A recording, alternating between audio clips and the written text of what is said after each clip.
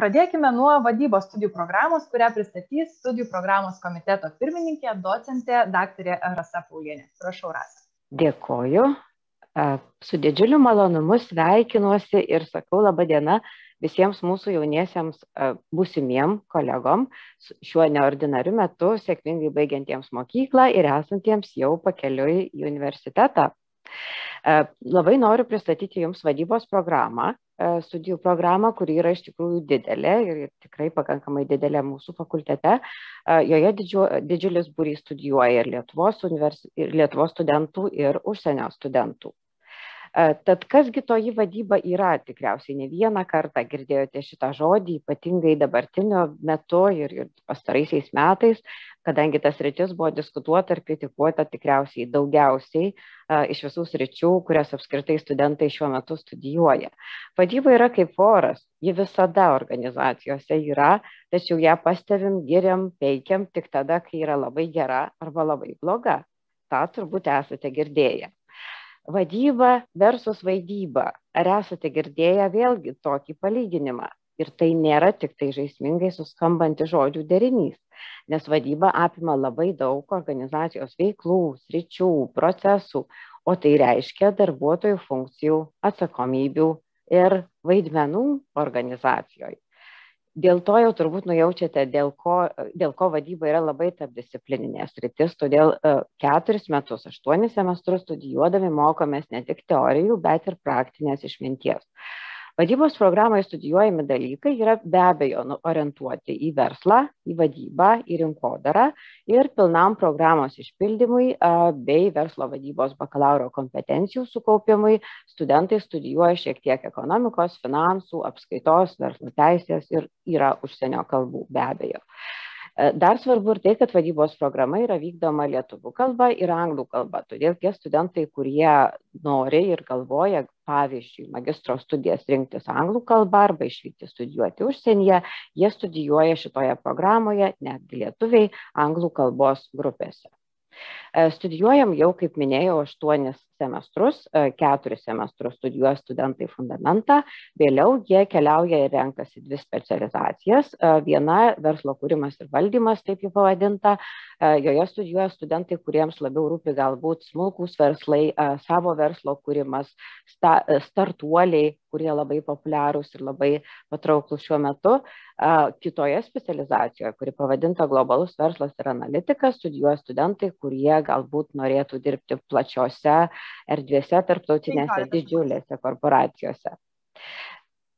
Taip, dabar ir svarbu pasakyti, kokias pareigybės aplikuoja mūsų organizacijų, mūsų programos pabaigę absolventai ir kurgi jie dirba dirba produkto vystymo, verslo plėtros vadybininkais, rinkodaros ir pardavimų vadybininkais, komunikacijos vadybininkais, vadovais tampa žinoma, jeigu auga sėkmingai, projektų vadybininkais dirba tie, kurie nori, kuria savus verslus ir tampa jų vadovais, savų verslų vadovais.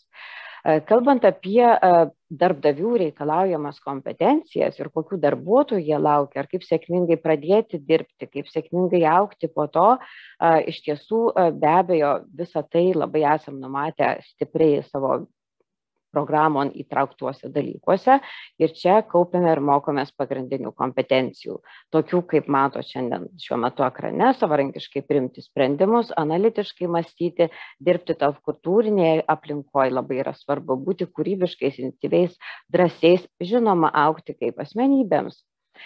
Programai dalykus dėsto mokslo daktarai, docentai, profesoriai ir be abejo verslo praktikai, turintys ir teorinių, ir praktinių žinių sinergiją. Turime svečių ir praktikų Lietuvos aplinkos įmonių ir aišku iš užsienio organizacijų pas mus atvykstančių.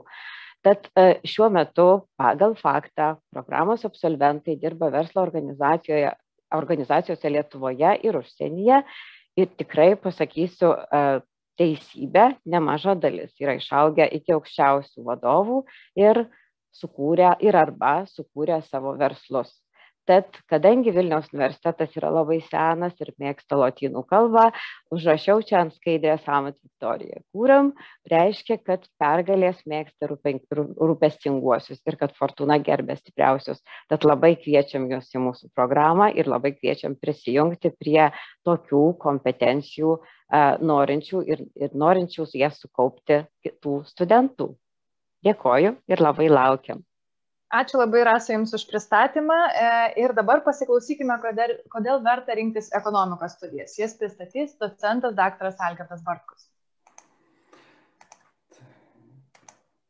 Labadiena, gerbiami abiturientai, tėvai, man labai malonu kreiptis čia į Jūs. Ir aš esu, kaip ir Rugilė minėjo, Algirdas Bartkus, šito fakulteto kiekybinių metodų ir modeliavimo katedros vedėjas.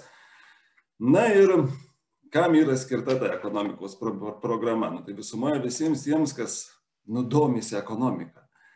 Tai reiškia, jeigu jums rūpi, nes kas tai yra ekonomika? Investavimas ir finansų rinkos, burbulų susidarimas vertybinio popierių rinkose, pinigų politikos vykdymas, eurozonos ir atskirai paimto šalies mastu šalies finansinio stabilumo užtikrinimas, sveikatos apsaugos finansavimas, senatvės pensijų ir nedarbo draudimo įmokų tarifų ir išmokų dydžių nustatymas, mokesčių politika, tarifai, fiskaliniai politika, tarptautiniai priekyba ir globalizacija, konkurenciniai strategijos mažmeniai priekyba ir automobilių pramonėje, ateities transportas ir urbanizacija.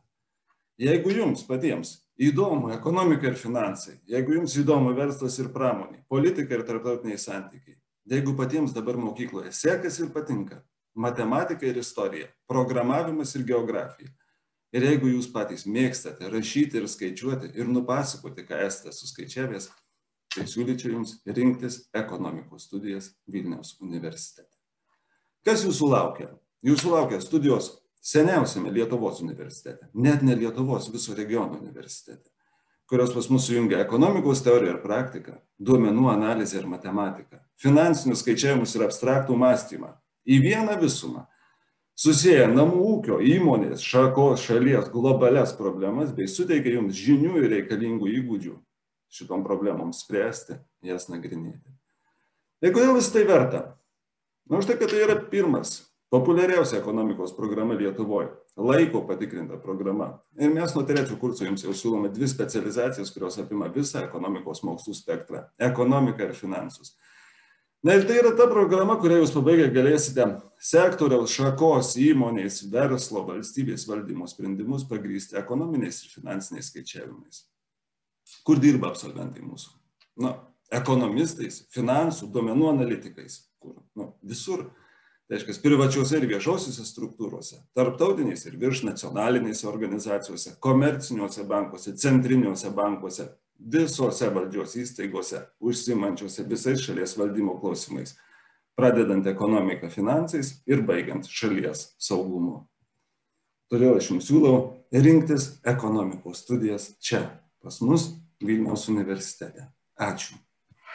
Ačiū už pristatymą ir now let's switch to English because our next presenter is Benjamin Hemingway who is going to present quantitative economics study program.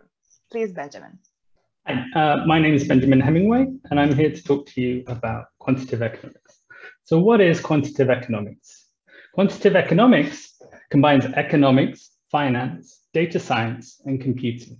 In the first year, we we give you the principles of economics and a background in maths and statistics. In the second year, we build upon these foundations.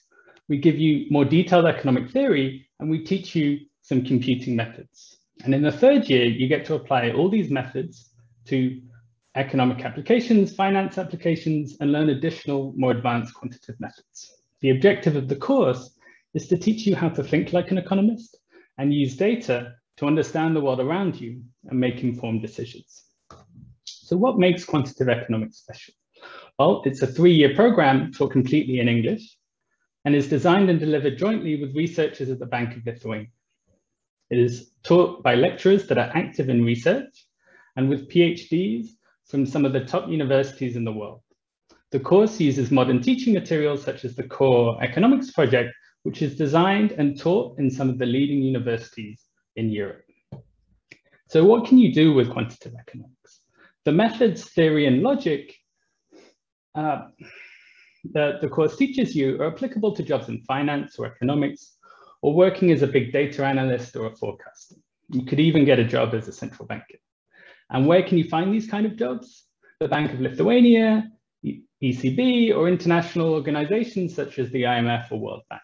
In the private sector, SEB, Goldman Sachs, or Moody's are some obvious examples, but big data is being used more and more by big tech firms such as Amazon and Google. Okay, so just to give you some idea of who will be teaching you, here are some of the lectures. Unfortunately, I don't have enough time to go through all of them, but you can see that they have PhDs from all around the world and at some of the best universities. Uh, Lestauskas, for example, has a PhD from Cambridge University. And one of the benefits the collaboration with the Bank of Lithuania is you get taught by people such as Marius Jurgelis, who is a member of the board of the Bank of Lithuania and teaches applied macro in the third year. Another benefit of the program is that every student has one of these lecturers act as an academic tutor to provide guidance with their studies and future career throughout the program. Before I finish, just a quick note on something else that sets this program apart, the interview. As with other top programs around the world, we interview our prospective students so we can choose those we think would be the best fit. The purpose of the interview is not to test what you know, but rather how you think. So a quick tip for those who apply. In the interview, don't be afraid to explain your thought process out loud, because the way you think is almost as important as the answer you end up at. Okay, so that's all from me, uh, and thanks for your time. Thank you, Benjamin. Uh, dabar metas globalios rinkodaros studijų programai, apie ją papasakos jaunesnioji asistentė Indrė Radavičinė.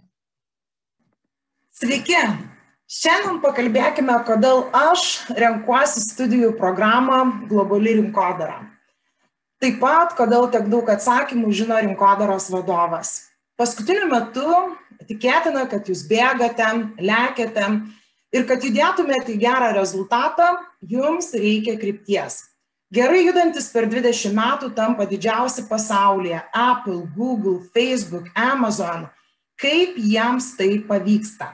Štai Kokią pavyzdžiui paslapti turėjo Gregas Jaws, Apple rinkodaros vadovas, žinodamas, kaip įkvėpti žmonės visame pasaulyje pamilti Apple. Arba kokią paslapti turėjo Karolina Everson, Facebook rinkodaros vadovė, žinodama, kaip sukurti norą tarpusavyje komunikuoti visame pasaulyje. Ką šie vyrai ir moteris žinojo, mokėjo, suprato, ką jie daro kitaip. Atsakymas labai paprastas. Jų gyvenimo krypties pasirinkimas - rinkodara. Mes, rinkodaros vadovai, esame atsakingi už pokyčius rinkoje ir vertės kūrimą klientams. Mūsų vaidmuo organizacijose darosi vis labiau ir labiau svarbesnis. Įsivaizduokite, skalbyklė yra informacijos kiekis, kuris sukasi be paliovos, įtraukdamas mus kiekvieną. Tam, kad galėtume judėti kryptingai, mums reikia naujos, profesionalios ir šiuolaikiškos informacijos.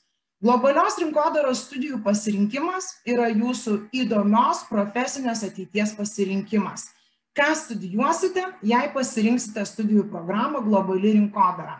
Tarptautinių projektų valdymą, rinkodaros komunikaciją, reklamos ir žinutės formavimą, rinkodaros valdymą, inovacijų valdymą, prekių ir jų ženklų valdymą, vartotojų elgseną, skaitmeninę rinkodarą.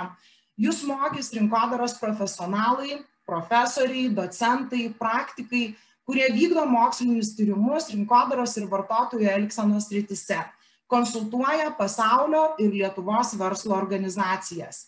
Studijų aplinka sukurta jums. Laisvalaikio erdvės, tarptautinė aplinka, moderniausia biblioteka vos už kelių šimtų metrų nuo jūsų būsimo fakulteto. Ir tai gali tapti realybę. Ką galime pažadėti, kai baigsite globalios rinkodaros studijas?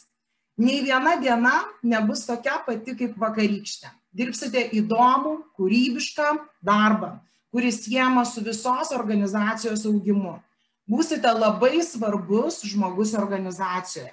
Uždirbsite solidžias pajamas, jūs galėsite keisti žmonių elgseną. Ir jei tik panorėsite, tikėtina, kad galėsite keisti pasaulį. Aš renkuosi studijų programą Globali rinkodara. O jūs? Iki susitikimo Vilnius universitete globalioje rinkodaroje. Dėkoju, Indrė. Tikrai, man atrodo, įtikinot ne vieną mūsų klausantį pasirinkti šią studijų programą. O toliau turime apskaitos ir audito studijų programos pristatymą ir mums apie šią studijų programą papasakos asistentė daktarė Gerda Jurkoninė. Sveiki. Taigi esu Gerda, šios katedros dėstytoja jau penktus metus, o įmonių ir, ir duomenų versle dirbant jau penkioliktus. Taigi, jei esate kūrybiškas, labai svarbu mėgstantis skaičiuoti, logiškai bei racionaliai mąstyti ir spręsti problemas, bakalauro studijų programa apskaita ir auditas kaip tik jums. Taigi trumpai apie ją. Šios programos tikslas yra parengti aukštos kvalifikacijos specialistus apskaitos, audito, mokesčių, įmonių veiklos analizės rytise ir kad tie specialistai gebėtų sistemiškai vertinti apskaitos duomenis, žinotų audito organizavimo ir veikimo principus ir gebėtų kūrybiškai įgytas žinias pritaikyti savo karjeroje.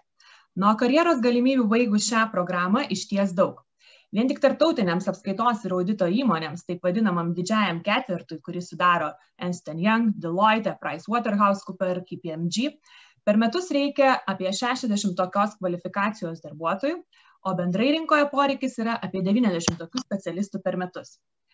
Jei jūs norite tapti paprastu buhalteriu, tiesiog gebančiu sudaryti įmonės balansą ar vesti kasdieninę įmonės apskaitą, jums iš tiesų šių studijų nereikia. Ir pakanka iš ties baigti, e, pavyzdžiui, pačiolio 12 savaičių kursus ir jūs puikiai gebėsite tai padaryti. Na ir sutaupysite keturis metus. Na, o jei esate ar norite būti kritiškai mąstantis, aktyviai siekiantis tarptautinės karjeros savo srities profesionalas, ši programa kaip tik jums nes jie apima ne tik apskaitos krypties dalykus, bet taip pat ir vadybos, ekonomikos, finansų, anglų kalbos, mokslo tyrimų ir kitus universitetinių studijų dalykus. Iš kitų programų jie dar išsiskiria ir tuo, kad atitinka pasaulinio lygio ACCA turinį. Negana to, baigus apskaitos ir audito programą, užskaitomi baziniai šios asociacijos egzaminai. Kadangi mums labai svarbu, jo programą baigę studentai gebėtų dirbti tarptautinėse organizacijose, programa dėstoma lietuvių ir anglų kalbomis. Būtent šis bruožas išskiria programą iš visų kitų Baltijos šalise esančius panašių studijų programų. Studentus gyvenimui ir darbui ruošia patyrusi dėstytojai bei socialinių partnerių komanda, turinti ilgametę tarptautinę akademinę, mokslinių tyrimų bei verslo patirtį. Būtent tai užtikrina, kad, komanda, kad programa atitinka tarptautinės rinkos, mokslo bei visuomenės poreikius, o ją baigę studentai yra sėkmingi, patenkinti, na ir žinoma laimingi. Norite tokiais tapti ir jūs?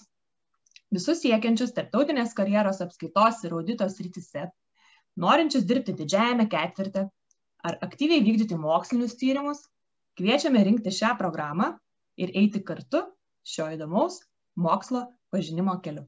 Dėkui. Dėkoju Gerda Jums labai už įdomų pristatymą ir dabar judėkime link vienos iš mūsų tarpkryptinių studijų programų. E, tai yra verslo ir teisės studijų programa, kurią mums pristatys studijų programos komiteto pirmininkė, docentė daktarė Erika Vaiginėnė. Labadiena, esu Erika Vaiginienė, verslo ir teisė programos vadovė kaip mūsų Lietuvos prezidentas, taip Gitanas Nausėda, kuris yra ir mūsų fakulteto absolventas, yra pasakęs, kad jis neįsivaizduoja nei vieno ekonomisto ar vadovo, kuris neturėtų verslo ir teisės žinių. Tai nuolatiniai pokyčiai verslo aplinkoje reikalauja vadovų, kurie gebėtų priimti teisiškai teisingus ir greitus sprendimus. Tai gali gyvendinti tik asmuo turintis ir vadybinių, ir teisinių žinių tiek viešojo sektoriaus tiek privataus sektoriaus vadovams reikia išmanyti nacionalinius ir tarptautinius verslo ir, vers, ir ekonomikos reguliavimo dokumentus. Kiekvienas vadovas turi išmanyti darbo, civilinę, finansų valdymo teisę. Studijuodami šioje programoje įgysite ir teisinių, ir vadybinių kompetencijų. Taigi šitos programos tikslas yra renkti aukštos kvalifikacijos verslo ir vadybos specialistus turinčius specialiųjų teisės žinių, gebančius konceptualiai mąstyti, identifikuoti ir spręsti įvairias verslo problemas, etiškai veikti verslo vadybos ir teisės profesinėje aplinkoje ir galinčius priimti pagrystus sprendimus, didinančius konkurencinį pranašumą rinkoje ir didinti organizacijų vertę. Taigi, mokindamėsi šioje programoje, jūs išmoksite verslo kūrimo principų, pagrindinių civilinės teisės principų, prievolių teisės, darbo ir socialinės apsaugos teisės, verslo valdymo, verslo plėtros, verslo finansų, verslo analitikos ir netgi finansų rinkų veiklos principų. Šios programos absolventai dažniausiai įsidarbina tiek viešojo sektoriaus, tiek privataus sektoriaus administracijos ir finansų valdymo padaliniuose, vadovauja savo šeimos verslams tampa verslo konsultantais, verslo teisės specialistais, verslo analitikais.